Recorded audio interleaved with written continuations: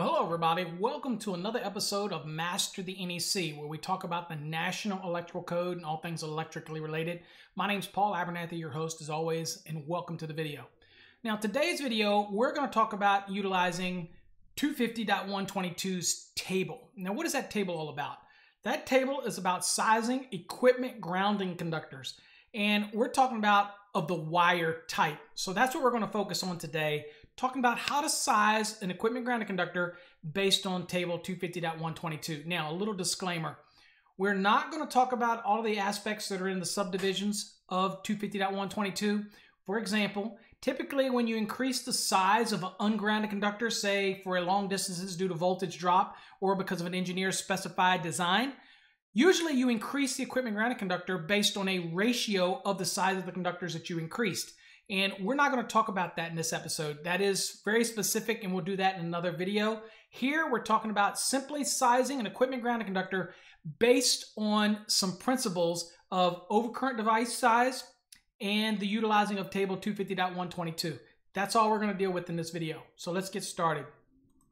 So as you can see, the topic is going to be sizing equipment grounding conductors, and we're going to specifically be utilizing table 250.122. So first things first, as with anything, we have to understand the definition of what an equipment grounded conductor is. It's a conductive path or path that is part of an effective ground fault current path and connects normally non-current carrying metal parts of equipment together and to the system's grounding conductor or to the grounding electrode conductor or both. Uh, and this is under the purview of Code Making Panel 5.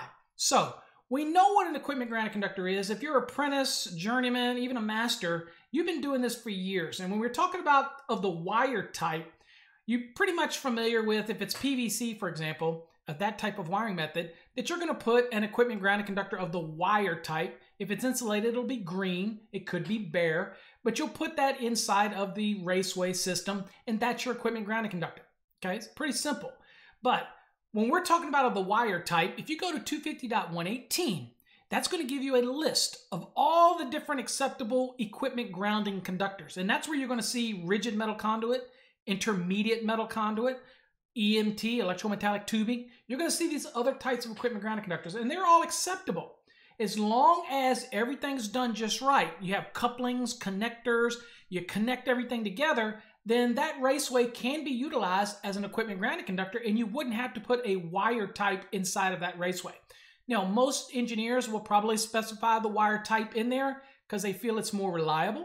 But at the end of the day, if you make up all those fittings, those couplings and everything right, EMT, rigid metal conduit, intermediate metal conduit, and a couple others in those lists, um, all of those in the list would qualify as an equipment grounding conductor.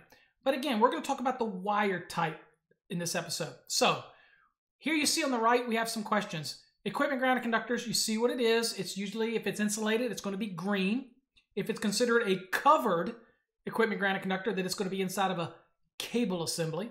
For example, non-metallic sheath cable, you know, NMB, you've seen it, you put it in residential homes. Well, there's a bare equipment grounded conductor inside there, usually wrapped in paper. And that is a bare equipment ground, but it's considered covered because it's underneath the sheathing in a cable assembly. Same thing would be for SER or SEU, that's service entrance cable. Uh, same thing for tray cable. It could be a bare or an insulated in there, okay? But the bare inside of a cable is considered covered, all right? So kind of gives you the aspect. All of these are listed in 250.118, item number one. It tells you that an equipment grounded conductor can be bare, covered, or insulated. Now, with that said, there are times in the code which will require that an equipment grounding conductor has to be insulated. Most notably, for example, branch circuits to patient care spaces in 517.13a in B. The B will tell you that the equipment grounding conductor has to be insulated. Okay, so that's some examples of when it would have to be insulated. Okay. Also, you get some of those aspects when you're dealing with swimming pools as well in 680, where the equipment grounding conductor would need to be insulated. Okay. Now, what is the function of an equipment grounding conductor? The function is that when you tie all these metal parts together, and I have some kind of ground fault that takes place in these metal parts, say a, an ungrounded conductor makes unintentional contact with the metal frame of the equipment, you create what's called a ground fault condition. And under that ground fault condition, the current will skyrocket at that ground fault. And when it skyrockets at that ground fault, the overcurrent protective device, whether it's a circuit breaker or a fuse, can detect that increased level of current beyond its actual rating. And when it does that, it will cause that overcurrent device to react very quickly and shut the circuit down. Okay.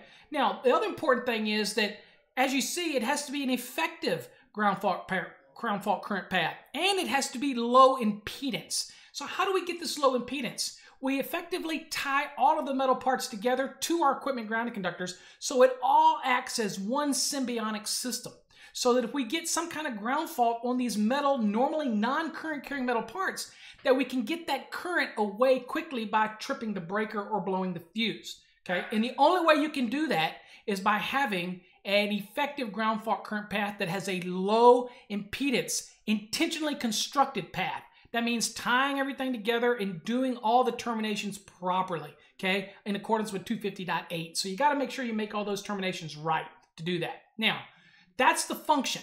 Why do we need it? Again, the quicker that we can clear that breaker or that fuse and shut down that system when there's a ground fault condition, we don't want to energize metal parts. We want to shut it down. And that's the importance of an equipment grounding conductor in an electrical safety circuit system. Okay. Now, does it have to be the wire only type? Absolutely not. But you have all these weak links when it comes to the raceways couplings, fittings, connections, lock nuts. You have all these things that could go wrong. When you run a wire, then you know you have two points the point where you start it and the point where it ends at the equipment.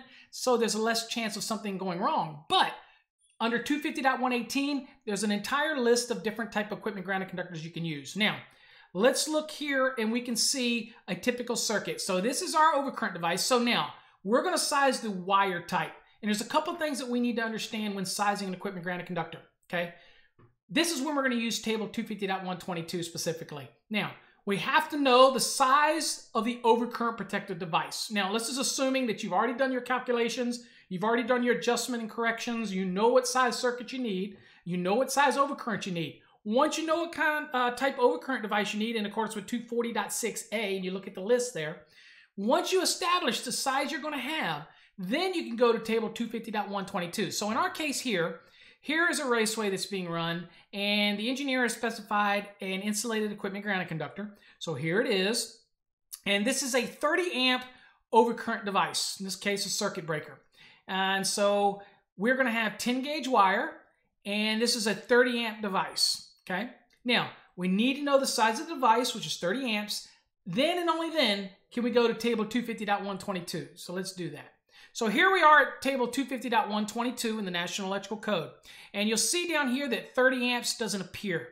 Well, that brings us to an important point. You notice that it says it's based on the overcurrent device. So we have a 30 amps. You notice that it falls between 20 and 60. That's because if you have a 25 amp device, a 30 amp device, a 40 amp device, a 50 amp device, all of those are still going to fall within the space between a 20 and 60. So if it's a 30 amp, you're going to jump up to the next size, and that would be a 60. So in our case, we have a 30 amp overcurrent protected device. Then we're going to use the 60 here because it falls, it's larger than 20. So you're going to round up to the 60. And that would be a 10 gauge equipment grounding conductor.